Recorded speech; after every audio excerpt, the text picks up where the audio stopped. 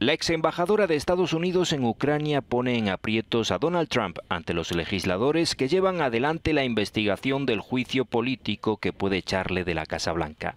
Mari Jovanovic ha revelado que el presidente de Estados Unidos presionó personalmente durante meses para que la retiraran del puesto.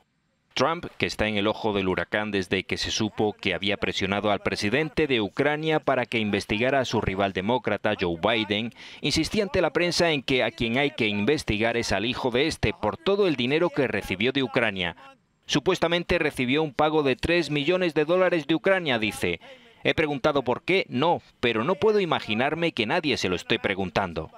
La detención de dos socios del abogado personal de Trump acusados de canalizar donaciones ilegales a candidatos republicanos afines que luego se utilizaron para investigar a Biden abre un nuevo capítulo de consecuencias impredecibles. Ambos trabajaban para un oscuro oligarca ucraniano buscado por la justicia estadounidense.